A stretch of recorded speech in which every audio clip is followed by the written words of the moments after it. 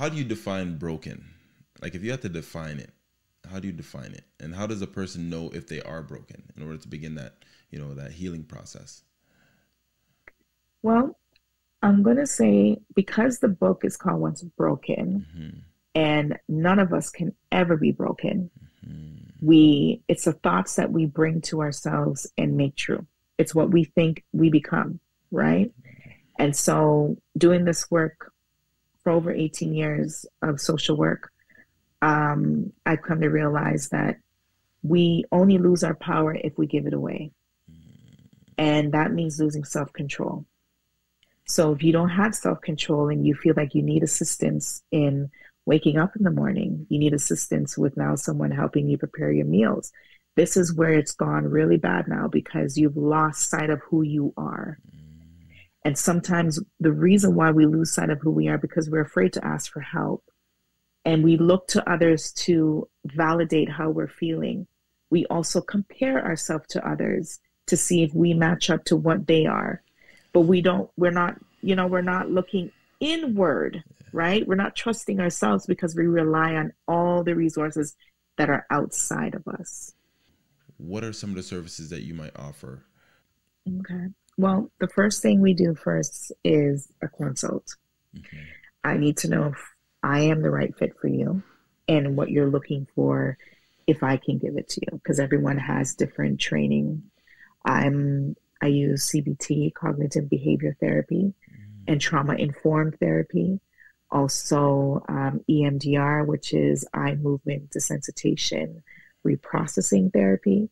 Mm. And that is all to do with trauma because I specialize in sexual trauma per se.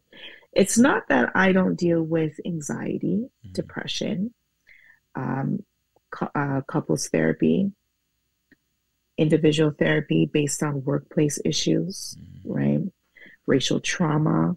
There's a variety of ways of people that come to me, but what I offer, I always tell them my main focus is self care. Mm-hmm. So I could be so fancy doing all these therapies. But what I'm going to teach you is to take care of yourself because you can experience death, you can experience um, an illness, mm-hmm. you can be going through issues at work. If we don't know what we need to cope, we're just going to continue the same cycle, behave the same way. What what purpose does that serve? It doesn't serve any purpose. We're not we're not fixing or healing anything right? So I always tell my clients when you come to me, you already got all the power. I'm just going to guide you how to maneuver your power. You've lost it along the way.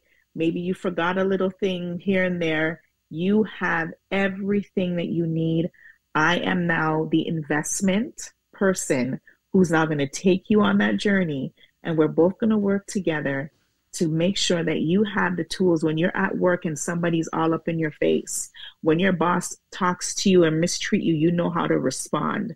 When your husband is a narcissist and you don't even understand how to communicate, I'm going to teach you how to take care of yourself. Right? It's at the end of the day, I always tell my clients, I'm going to teach you how to love you to the point that you remember you and show up for you before you show up for everybody else. Okay. Your website you stated on there, and I love this, but it said uh, the transformation begins when the work on self is applied daily. Yeah. What is one thing that somebody can take away, listen to this episode, that they can work on daily, like an, an exercise or an activity or something, um, uh, a suggestion or a message, anything that you can share that they can take and do on a daily basis? I'm really asking for me, by the way, just. No problem. well, you know, we we we go through different seasons and we we transform based on where our where we are in our lives. And so I always encourage my clients to tell me, "What do you like doing?" Oh, I don't do anything. No, no, no. What do you like doing? Okay, tell me when you were a little girl or a little boy, what was your favorite thing to do? Oh, I love to do puzzles and I love to draw and I love to paint. And so when I go back to when they're little and they start to tell me all these things that they enjoy doing. I said, okay, why are you not doing them now? I got time. Oh, mm. okay. So when are you going to make time? Because this is serious. I always tell them this is a serious step you're taking with me. Mm-hmm. because I'm going to hold you accountable. So the things that bring you joy, the things that make you smile, the things that make you feel good is what you're going to put in your daily practice. Mm-hmm. Because when you lose those, sight of those, you go into a cycle I'm not enough. I don't deserve. I don't get enough sleep. I'm unhappy. I can't take this life. I don't want to be here because you're not filling your cup. You know the saying, make sure you don't use an empty cup or use out the empty cup. I always tell people when you fill that cup, you're filling it for you first. You're not filling up for your wife. You're not filling up for your children. And I tell people everybody's got to have boundaries, everyone. Because if you don't create healthy boundaries, that means everybody gets to use up all of your energy and you're left with none. So, a daily thing that I do, I have to do my affirmations every morning. I got to fill my I got to fuel myself up.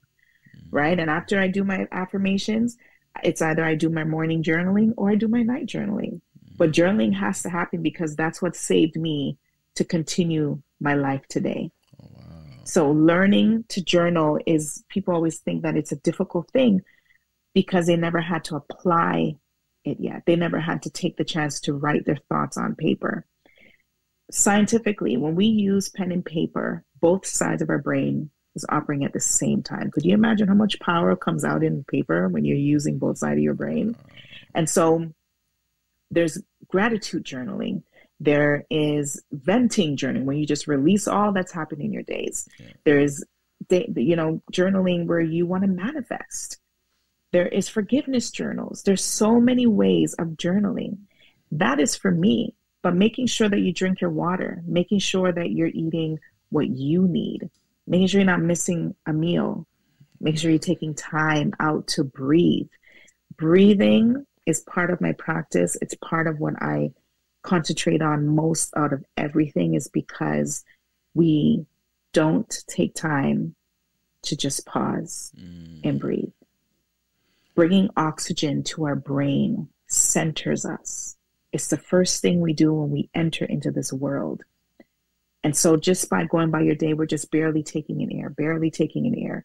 And within the time that you're at work or wherever you are, you are becoming anxious, you're getting irritated, you're getting angry, you're getting hungry, you're getting stressed. And we have yet to say, okay, I'm going to take five minutes and just go sit down and breathe and, you know, come into myself and center myself and just be.